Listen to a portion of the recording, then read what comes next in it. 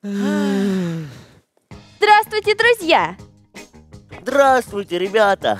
Всем привет! А вы чего такие грустные? Скучно. Заняться вообще нечем. Может, ты нам чего придумаешь? Ну, хотите, я вам загадки загадаю. Загадки? Любите загадки? Конечно, мы чемпионы мира по разгадыванию загадок. Ну тогда слушайте внимательно. Ага. Мы ходим ночью, ходим днем, но никуда мы не уйдем. Мы бьем исправно каждый час, а вы, друзья, не бейте нас. Я знаю! Это часы! Молодцы!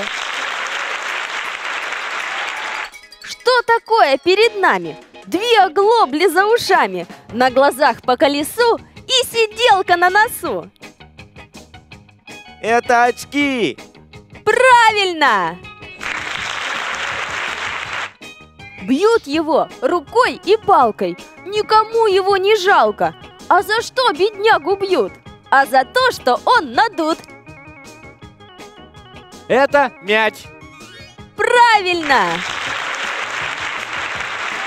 В полотняной стране на реке простыне плывет пароход то назад, то вперед. А за ним такая гладь, ни морщинки не видать. Это утюг.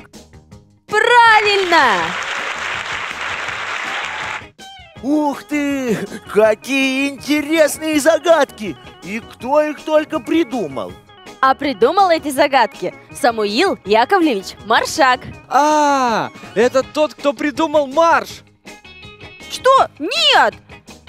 Это же известный детский писатель. И сейчас я вам о нем расскажу. Самуил Яковлевич Маршак – русский советский поэт, драматург и переводчик, литературный критик, сценарист, автор популярных детских книг.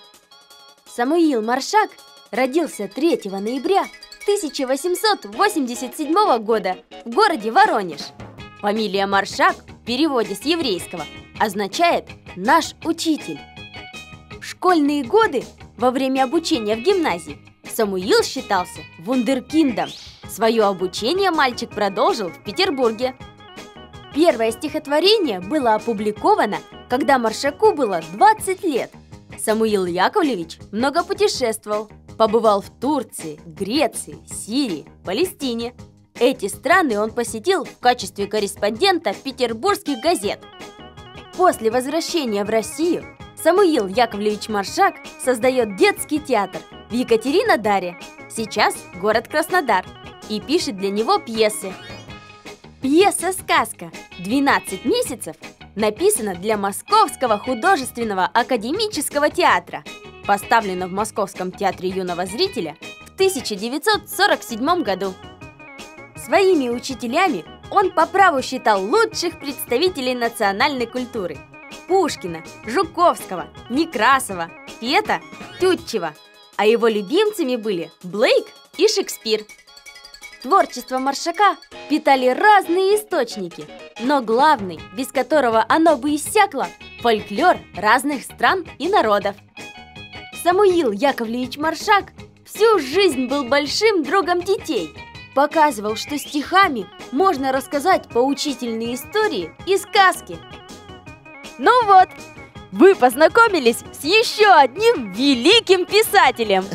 Теперь нам точно не будет скучно. Мы будем читать книги Самуила Яковлевича Маршака. И вы, ребята, не забывайте читать книги. До новых встреч! Пока-пока!